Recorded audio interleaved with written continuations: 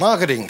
I'm afraid that uh, this session will have to start with, in a very banal way. We'll have, first of all, to define what is marketing. Why?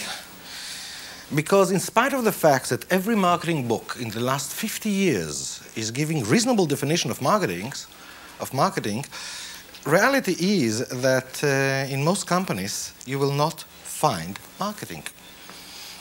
They somehow confuse marketing with sales. So maybe we should use some um, stronger words to deliver the message of what is marketing and what is sale and how different they are from each other. Marketing, in my eyes, is spreading the corn for the ducks to come and sit. Sales is taking a gun and shoot a sitting duck. And if the duck is not sitting, but moving like a mosquito, don't blame the salesperson. Blame the fact that you don't have marketing. Or in other words, marketing is bringing the market to desire your product or your service.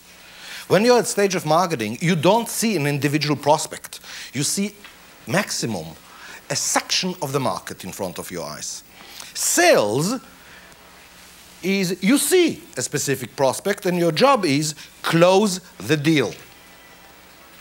Close the deal. Now, if you think that it's easy to shoot a sitting duck, uh, try to do it. And remember, if you miss and the bullet goes near his ear, he's not sitting anymore. he flown. Good marketing means have a lot of sitting ducks with glue on their feet. Now, how do you do it? What is the real problem today that prevents companies from doing a good job in marketing? What is the problem? What is the core problem?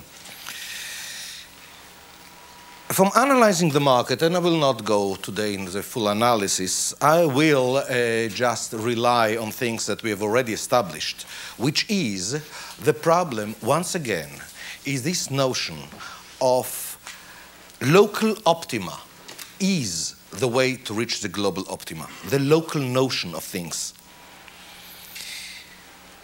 And this is what creates the real conflict for marketing. It stems from the fact that due to this local approach of looking at things, trying to optimize each portion in isolation, we have increased drastically one of the perception of value that exists in the field. You see, when you have a product or a service, there are two different perception, perceptions of value for this same product. One is a perception of value of the supplier. Now, what is it based on? If you really look on it, it's based on actually the efforts that went into providing this product the more efforts, the more money, the more time it took you as a provider to bring this product from nothing into the hands of the client, the more you think that it's valuable.